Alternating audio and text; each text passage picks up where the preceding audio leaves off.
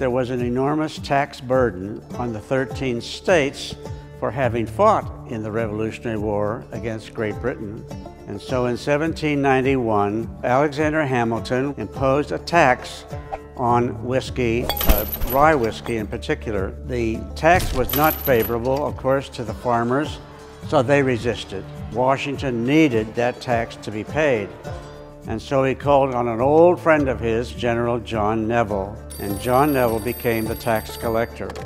Neville and his U.S. Marshal, David Lennox, went to a nearby farm owned by William Miller to collect the tax. Farmers chased them off. That evening, the uh, farmers met and amazingly amassed about 500 farmers who then went back up to Bower Hill where Neville resided. The farmers went crazy.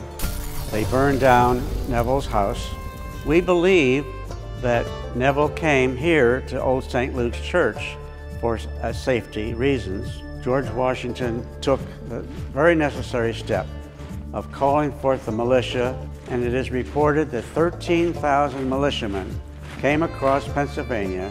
When the farmers saw that mass of humanity coming, they, of course, relented their objections. And here is a bottle, it's oh, several decades old, and it is uh, distilled here in nearby Large, Pennsylvania. And the label and the history of the Whiskey Rebellion is here uh, on the bottle.